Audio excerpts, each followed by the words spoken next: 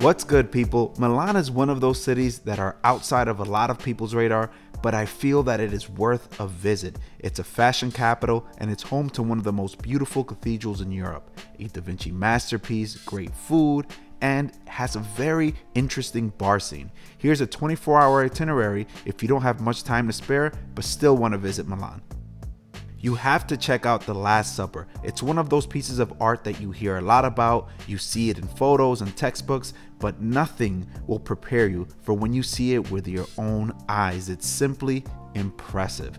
To see it, you must make reservations well ahead of time, and tickets are pretty cheap.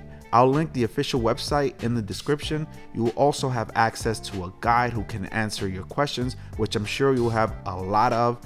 Honestly, this alone is worth a visit to Milan. Check out Duomo di Milano. Come to the rooftop at the Duomo during sunset for incredible views of the city. You'll need to purchase tickets for this as well, and of course, I'll leave a link in the description. There are two ways to get up stairs or elevator. We opted for the stairs because the line for the elevator was super long and we'd probably miss the sunset if we did wait. Once up there, you'll get an up close look at the Gothic architecture and statues. Climb up to the very top of the cathedral for a good spot to chill and plan the rest of your evening. Again, the views here are amazing. If you have time, take a walking tour of Milan. Small walking tours are dope because you usually get a local who can give you great recommendations on what else to see and eat. We went around with Ruth and her doggy Spank on a tour of Castello Sforzesco, Arco della Pace, and the surrounding areas. I'll leave a link to book a tour with her in the description. Spank was the best.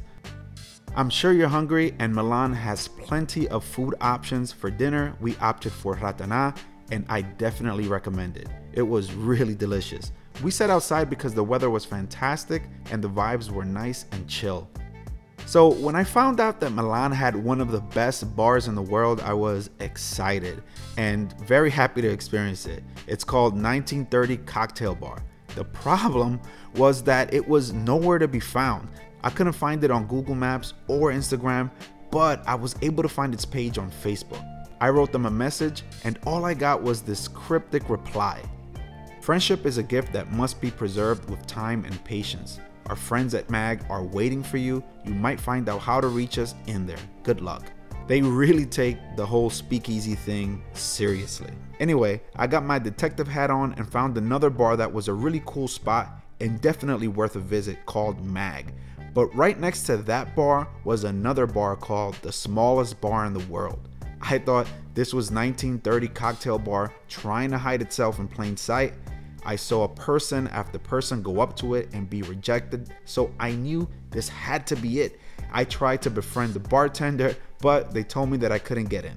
They did give me a card with a website to make a reservation. I failed to find and get into 1930, but at least there's hope for next time. It was a fun experience and the cocktails at MAG were fantastic. Well, that's all. I hope you found this tiny guide helpful, and if it was, hit the like and the subscribe button, and I'll catch you next time.